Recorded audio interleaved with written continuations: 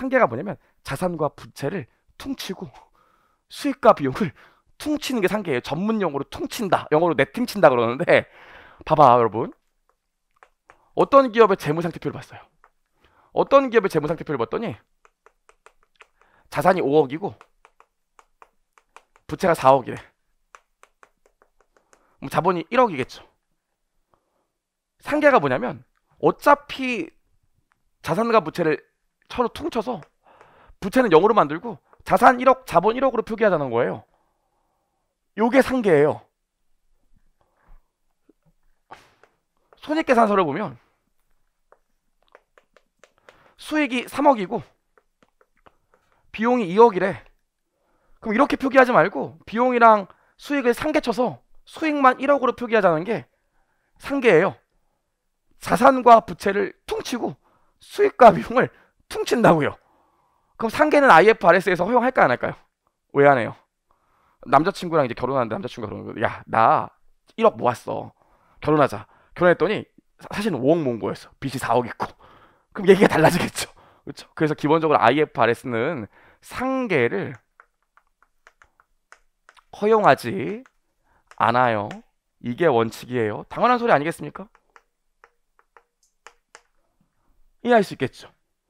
그럼 예외적으로 상계를 허용하는 경우들이 있거든.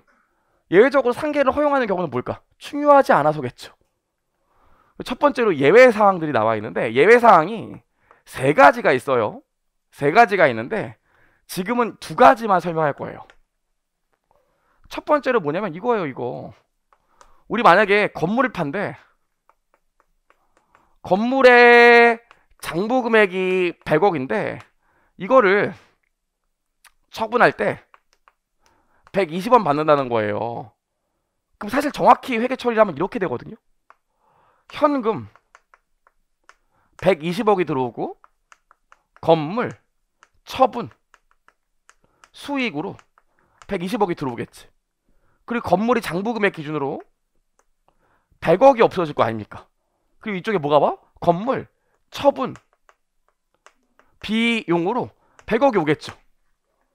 그쵸? 원래는 이렇게 표기해야 된다고요. 근데 건물은 뭐해? 어쩌다 한 번 파는 거고 건물 판 가격이랑 장부 금액이 중요한 게 아니라 건물 팔아서 얼마 남긴지가 중요한 정보 아니겠습니까? 별로 안 중요하다고 얘네들은 별로 안 중요하기 때문에 이 경우에는 두 개를 서로 상계할 수 있다고 그랬다고요. 그래서 우리 실질적 우리 실제 회계 처리 어떻게 해?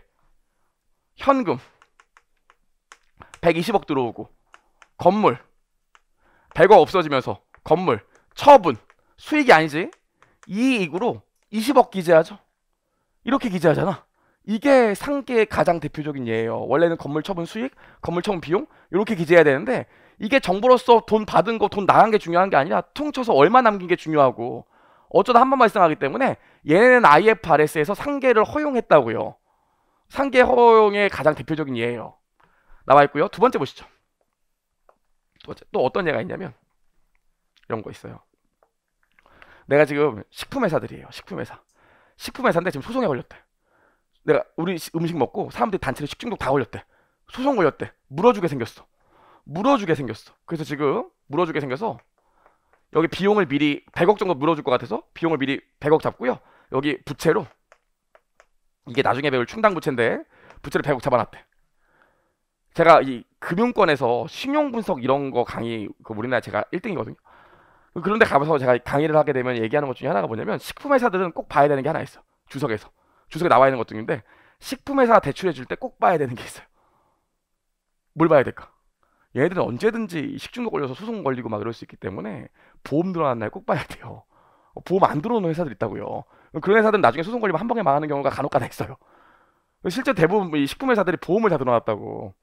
그럼 내가 지금 소송 걸려서 질 것 같아. 그럼 보험회사에서 이 중에 한 80억 정도는 물어준다니까? 그럼 보험회사가 돈을 물어줄 것 같대. 그럼 여기 보험회사가 주는 돈에 대해서 자산으로 잡아요. 80억. 그 반대쪽에 뭐해? 아싸 보험이익? 그렇게 수익 잡아도 되고 네가 원하면 요 비용과 상계할 수 있다고 그랬어요.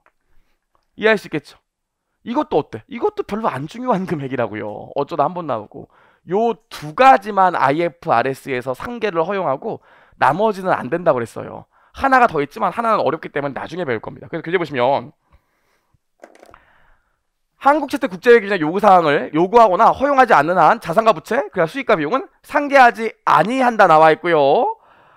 밑에 보시면 동일 거래에서 발생하는 수익과 관련한 비용 수익 비용의 상계 표시가 거래나 그 밖의 사건의 실질을 반영한다면 그러한 결과는 상계 표시하여야 한다 나와 있는데 얘가 여기 1, 2, 3번이라고요. 지금 제가 1번이랑 2번은 얘기한 거고 3번은 얘기 안 한 거예요. 3번 나중에 얘기할 겁니다. 그럼 1번 보시면 비유동 자산의 처분 손익은 처분 대금에서 그 자산의 장부 금액과 관련한 처분 비용을 차감하여 표시한다. 보이시죠? 이렇게 표시하지 않고 이렇게 표기한다고요. 요 말이에요. 2번 기준서 충당부채, 우발부채 및 우발자산에 따라 충당부채와 관련된 지출을 제3자와 계약관계에 따라 보존받는 경우 지출을 보존받는 금액과 상계한다 나와 있는데 이렇게 이거와 이걸 상계하는 게 아니라 여기 소송 손, 손실로 비용 200원 잡아놨는데 보험금 받게 되면 요거를 별도의 보험금 수익 잡을 수도 있고 아니면 이 비용과 손실과 상계할 수도 있다고요. 요건 나중에 충당부채 가서 배울 겁니다. 여기 써놓으세요. 그냥 충당부채라고. 충당부채 가면 요거만 또 한 20분 얘기할 거예요. 충당부채. 그래서 결론은 뭡니까? IFRS에서는 상계를 금지하고 있고 상계를 허용하는 경우가 크게는 두 가지가 있다. 이렇게 생각하시면 돼요. 괜찮죠? 자, 다시 한번. 상계가 뭐라고요? 오늘 집에 엄마 물어보는 상계. 그치, 그겁니다. 그겁니다. 상계가 뭐라고? 자산과 부채를 퉁치고 수익과 비용을 퉁치는 거. 웃어? 이게 얼마나 중요한 얘긴데. 그쵸? 근데 상계 표시가 있고 순액 표시가 있어요. 상계 표시가 있고 순액 표시가 있다고. 순액, 순액, 순액. 제가 제 친구 그 제 입사 동기 주식 대박 나고 뚜레주로 얘기했나요? 안 했나요? 아 그럼 얘기를 해야지. 그 사람 인생이라는 게 정말 여러분 뜻대로 돌아가는 게 하나도 없다는 걸 진짜 늘 느껴요. 제가 법인 입사했을 때 입사 동기로 이제 법인 연수를 갔다고요. 필리핀에 연수를 갔는데 제 친구가 안녕 윤도나 나도 성균관대 나왔어 그러더라고요. 좀 저 못 봤어. 그런 애가 있는지도 몰랐는데 자기 성대 나왔다는 거야. 그러니까 어, 반갑다. 가, 너 대학교도 같은 대학교 나왔고 뭐 회계법인 입사 동기니까 좀 친하가 되겠죠. 어, 친해졌어요. 그래서 어, 근데 보자마자 어 윤도나 반가워 나도 성대 나왔어 막 얘기하다 갑자기 야 다일라 피면서 전 담배 안 피는데 이게 담배를 빼서 야 윤도나 너 혹시 주식 정보 아는 거 없니? 나 주식 정보 아는 거 있어갖고 마통 1억 들어서 몰빵했어. 너도 할래 이러더라고요. 제가 그 얘기를 듣고 미친놈이네. 여기서 아니 아니 난 괜찮아 그랬어요. 어 그래? 아 좋은 정보인데 아깝다 막 그랬다고요. 근데 그게 두 달 만에 두 배가 돼요. 제가 그걸 옆에서 처음 봤어요. 그러니까 2억이 생긴 거야. 나 통장에 지금 20만 원 있는데 2억이 생긴 거야. 물론 마통 1억이니까 1억 갚아야겠지. 2억이 생긴 거예요. 그래서 한 몇 달 지났는데 같이 또 밥을 먹어. 친하니까 밥을 먹는데 윤도나 너 언제까지 이렇게 살 거야? 야, 너 주식 정보 나 중요 대박 하나 들었거든. 너도 해. 나 지금 2억 넣고 주식 담보로 1억 빌려서 3억 넣었어. 너도 해 이러더라고요. 제가 그래서 그 얘기를 들으면서 밥 먹으면서 어 그랬지만 밥 먹어서 무슨 생각하냐면 얘랑 다시는 말도 섞지 말아야겠다 이런 생각을 했어요. too dangerous다 이런 생각을 했다고요. 어 같이 다니는 패가망신 하겠다 이랬다고요. 와 근데 그게 한 달 만에 두 배가 또 돼. 6억이 생겼어. 내 통장에 6만 원 있을 때 6억이 생긴 거예요. 빚 갚아도 4억이 남은 거지. 아 근데 난 놈은 난 놈인 게 이 친구가 아무 주식이나 하진 않고 확실한 정보만 움직이더라고. 확실한 정보가 없으니까 이제 주식 투자 안 하고 그걸로 뭐 했냐면 경기도에 뚜레주로 빵집을 세운다고요. 자기는 회계사 일하면서 이제 투잡으로 빵집 사장님이 된 거지. 뚜레주 사장님이. 나는 지금 그 이 핸드폰으로 지금 이거 빵 이거 이거 쿠키런 이런 거 하고 있는데 걔는 진짜 빵집 사장이 된 거지. 근데 그런 날 있잖아요. 왜 너무너무 술 한잔 하고 싶은데 우리 엄마도 약속 있는 날 너무 술이 마시고 싶었는데 아무도 안 되더래. 그래서 그냥 들어가려고 했는데 마침 옛날에 자기 집에 온 우편이 기억이 난 거야. 이 경기도권에 뚜레주드 사장님들의 모임이 있대요. 같이 뚜레주드 사장님들이 모아야 힘이 좀 있을 거 아닙니까? 그래서 모임이 있는데 그 모임이 오늘이었대. 너무 술 마시고 싶은데 약속 안 잡히는 날. 그래서 에이, 봤더니 마침 또 자기 동네들에 그래서 그냥 갔다는 거예요. 아무 생각 없이. 에이, 그냥 술이나 술이나 마셔야 거기라도 가서 술이나 마셔야겠다 갔다는 거죠. 근데 그때 당시 그 친구 나이가 31살이니까 이게 31살짜리가 뚜레주로 사장님이라고 오니까 너무 귀엽잖아요. 아저씨들이 계속 말을 걸었다는 거죠. 대꾸하기 싫은데. 그 말을 걸면서, 아유, 뭐 하시는 분인데 벌써 이 얼른 나이에 뚜레주로 사장이 되셔서, 아유, 뭐 하시는 분이야. 내가 너무 귀찮아갖고 그냥, 아, 네, 아, 저는 이게 제 본업이 아니라 사이드잡이고, 저는 회계사입니다. 이랬다는 거예요. 그랬더니, 회계사? 와, 마침 잘 됐다. 우리 오늘 여기 협회에 총무 뽑는데, 총무 하시죠? 이랬다는 거예요. 걔가 너무 하기 싫었대.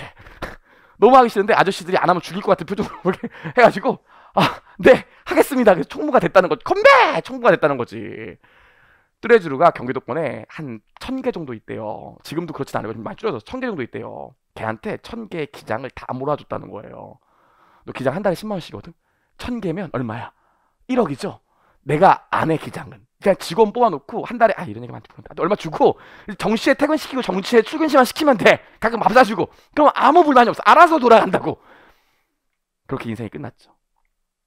그거 기장 천 개 하면은 그거 다 해봤자 비용 천만 원도 안 들어요. 9천만 원씩 떨어지는 거 9천만 원씩. 그쵸? 나 지금 한 통장에 900만 원도 못 모았을 때 걔는 한 달에 9천만 원씩 떨어진다고요. 너무 좋겠죠. 인생이 그래요. 그래서 옛날에는 막 자주 만나주고 했는데 요즘 만나주지도 않아. 바쁘기 때문에. 그래요. 근데 가끔씩 이게 술자리 만날 때 오면 나오고 어이구 어이구 대표님 어이구 어이구 어이구 오시죠 야 오늘 네가 사는 거지 막 이런다고요 그럼 걔가 늘 하는 얘기가 있어요. 야 마냥 좋지만은 않아 그러더라고요. 마냥 좋지만 않아 왜 안 좋을까? 걔 고민은 뭘까? 걔 고민은 뭘까요? 거기 우리 사무실의 여직원들 사이에 권력암투? 내 김과장을 찍어낼 것이야. 막 이런 거 어 뭐 뭐, 뭐가 뭐가 걔 그 최대 관심사일까요? 최대 스트레스가 뭘까요? 트레주가 천 개 있으면 잘 되는 트레주도 있지만 바로 옆에 빠바 있는 트레주도 있다고요. 장사가 잘 안 되는 데가 분명히 한 200개, 300개 있다고 1000개가 있다 하더라도 2, 300개는 장사가 안 돼. 그럼 기장료가 밀린다고. 근데 또 기장료 밀리는 걸 여직원 시킬 수는 없거든요. 전화를 한다고. 사장님, 저예요. 어이구, 총무님. 웬일이세요? 아, 딴 게 아니라, 아, 제가 이런 얘기 했더니 기장료가 안 들어왔던데 이런다고요. 그럼 뭐라고요? 아, 진짜 요즘 너무 힘들어서 그래요. 아, 총무님 너무 죄송한데 다음 달에 한 번 해주면 안 될까 그런다고요. 거기서 정색할 수가 없다고요. 아, 예, 다 힘들죠, 요즘. 그럼 다음 달에 주세요. 전화 끊습니다. 끊는다고. 그리고 그 다음 달에 가면 가게가 없어져 있어요. 이런 것들을 뭐라고 그러냐면 전문 용어로 손상이라고 해요. 돈을 날린다고. 그럼 봐봐. 제 친구 같은 경우에 기장 천개 해줘서 돈 받을 돈이 여러분도 지금 빨리 세무 샀다고 빵집을 해야겠구나 이런 생각을 하면 안 돼. 그런 좋은 아이템이 있었네 이러시면 안 된다고. 저도 근데 사실 그 얘기를 듣고 나도 빠바라도 빨리 차리고 나도 안 한 건 아닌데 사람 인생이 이렇게 호락호락하지 않잖아요. 그 만약에 천만 원 받을 돈이 있다고 칩시다. 그럼 얘는 실제로 이 중에서 200만 원 정도 못 받는다는 거예요. 200만 원 정도는 이런 걸 미리 못 받을 것 같은 경우를 어떻게 하냐면 회계 처리를 우리 매출 봐봐 천만 원 잡고 매출 채권 천만 원 잡았어. 근데 이 돈을 이 중에서 200만 원 못 받을 것 같다는 거야. 근데 나중에 비용 돈 못 받을 때 비용 처리하면 올해는 수익만 잡히고 그 다음 연도에 돈못 받게 되면 그 다음 연도에 비용만 잡히겠지.